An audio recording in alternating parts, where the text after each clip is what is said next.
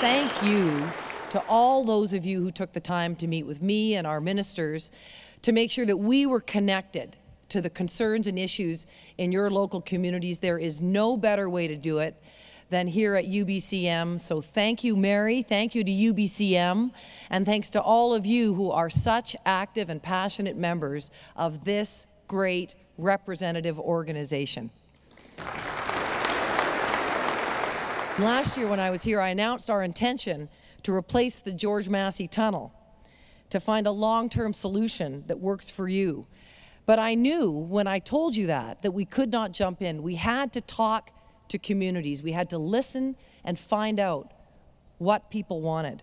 People said the tunnel must be replaced and it must be replaced on the same route. So we listened and we're doing it.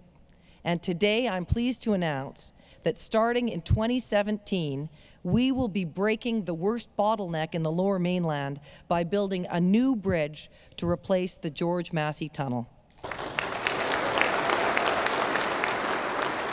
If we work together, we can grasp a singular opportunity.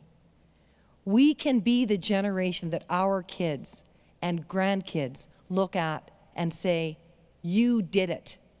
Let's be that generation that they look to, the ones who transformed our province, the ones who didn't let change pass us by, the ones who saw it and took it and made our province better.